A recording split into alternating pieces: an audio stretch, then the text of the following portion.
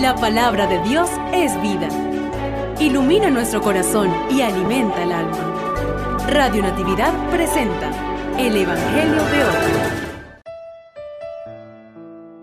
Lectura del Santo Evangelio según San Juan, capítulo 3, versículos 31 al 36. Gloria a ti, Señor. El que viene de lo alto está por encima de todos, pero el que viene de la tierra pertenece a la tierra y habla de las cosas de la tierra. El que viene del cielo está por encima de todos. Da testimonio de lo que ha visto y oído, pero nadie acepta su testimonio. El que acepta su testimonio certifica que Dios es veraz. Aquel a quien Dios envió habla las palabras de Dios, porque Dios le ha concedido sin medida su espíritu.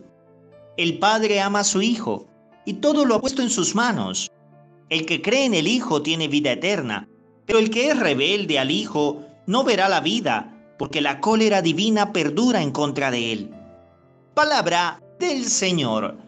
Gloria a ti, Señor Jesús. Un saludo de paz y bien para todos aquellos que nos escuchan a través de Radio Natividad, la emisora católica del Táchira, donde queremos ser parte de la buena noticia del Evangelio de Jesucristo en tu vida. Hoy, la misión natural de la Iglesia es, ha sido y será siempre, la proclamación del testimonio de Dios. Ese Dios que se revela, que se comunica a través de su Hijo Jesucristo y que Jesucristo elige a sus apóstoles para que continúen esa predicación a lo largo de la historia.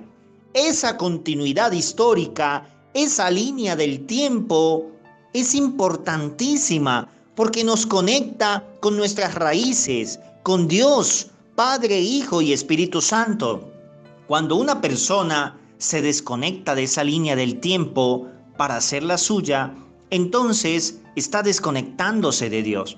Y es lo que pasa con las denominaciones religiosas, cuando deciden alejarse de la Iglesia Católica para iniciar una nueva historia. Porque eso es lo que están haciendo, una nueva historia en la cual se están desconectando con Dios. La palabra es clara, el que ama al Hijo, el que acepta al Hijo, ama y acepta al Padre.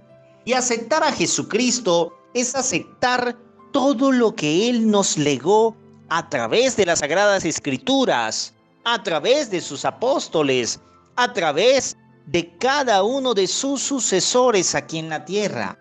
Por tanto, si no aceptamos a los apóstoles y a sus sucesores, a la iglesia, entonces ni aceptamos ni amamos a Jesús, ni aceptamos ni amamos a Dios.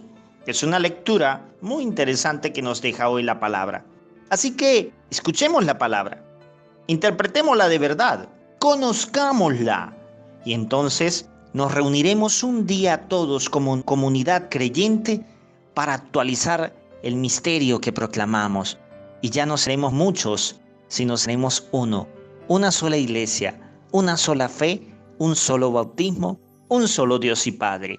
Dios te bendiga. Gloria al Padre y al Hijo y al Espíritu Santo, como era en el principio, ahora y siempre, por los siglos de los siglos. Amén.